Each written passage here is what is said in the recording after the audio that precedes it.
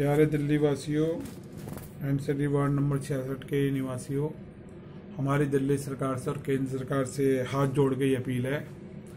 और आदरणीय सर्वोच्च न्यायालय, आदरणीय उच्च न्यायालय और सभी district courts, MM courts session courts, public prosecutors, सत्रह लाख कानूनी अधिवक्ता, public protection officers, court staffs R W N G O represent जितने पुलिस स्टेशन हैं, पुलिस अधिकारी सबसे निवेदन है कि दिल्ली की जनता की सेहत की सुरक्षा का ख्याल रखते हुए और भारत के अंदर जितने भी क्षेत्र निवासी हैं, सभी स्टेट के मुख्यमंत्री से गुजारिश है कि जितना हो सके सख्त कानून बनाया जाए, मिलावटी खाद्य पदार्थों को बनाने और बेचने वाले और इस्तेमाल करने वाले लोगों पर, जमाखोरी के ऊपर और प्राइस कंट्रोलिंग कमेटी मतलब रेटों के रेट फिक्स हो जल्दी जल्दी बढ़े ना घटे ना प्राकृतिक आपदाओं के हिसाब से। इन तीन चीज़ों के ऊपर मैं चाहूँगा कि केंद्र सरकार, राज्य सरकार काम करे और जनता के हित में खासतौर दिल्ली के हितों के अंदर, जो मुख्य मुख्यमंत्री केजरीवाल दिल्ली का मॉडल दिखाना चाह रहे हैं, रानी, दिल्ली के हर क्षेत्र के अंदर मिलावटी खाद्य पदार्थ, मिलावटी और सब्जियों बिक रही हैं और जमाखोरी हो रही है, किसी भी टाइम किसी भी आपदा की वजह से किसी भी कारण शॉर्टेज होती है रेट बढ़ जाते हैं एकदम डबल रेट हो जाते हैं, फिर कम हो जाते हैं। तीसरा,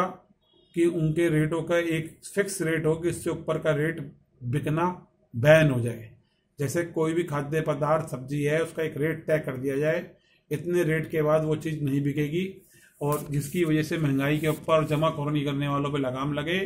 और अगर ऐसा करते हुए कोई भी बंदा पाया जाए तो उसको कम से कम चौदह साल की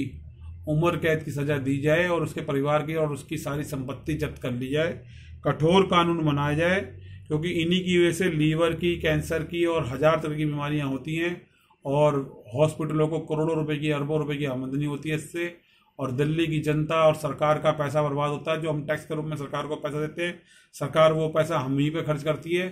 तो ये सब फिजूल खर्ची बचेगी। इसी के लिए साथ में सभी दिल्ली के जितने पार्षद, विधायक और एमपी हैं, उन सबसे भी ये मेरी प्रार्थना करता हूँ सांसदों से कि वो भी इस तरफ़ जागृत हों और प्रयास करें जनता को काउंसिलिंग करके समझाने का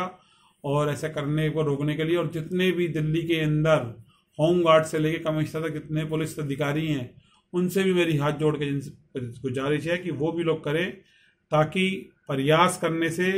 कुछ समय बाद हम ऐसा उज्जवल भविष्य देखेंगे कि जिससे कम से कम चिकित्सा के क्षेत्र में और स्वास्थ्य के क्षेत्र में एक आधुनिक एमसीडी वार्ड नंबर छियासठ होगा। शकुर बस्ती विधानसभा होगी, दिल्ली सरकार होगी, दिल्ली का राज्य होगा और इसी के मॉडल के साथ पूरा भारत होगा।